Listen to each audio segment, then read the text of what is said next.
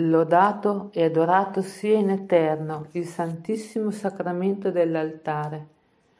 Mio Dio e mio Salvatore Gesù, vero Dio e vero uomo, degna vittima all'Altissimo, pane vivo e sorgente di vita eterna, ti adoro con tutto il cuore nel divin sacramento dell'altare, col desiderio di riparare l'indifferenza, le irriverenze e le profanazioni che ricevi in questo ineffabile mistero.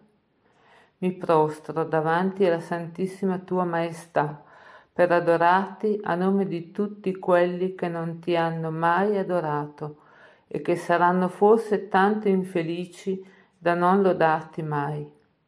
Vorrei poter raccogliere nella mia fede, nel mio amore e nell'offerta del mio essere tutto l'amore che essi potrebbero offrire a onore e gloria tua per la distesa dei secoli.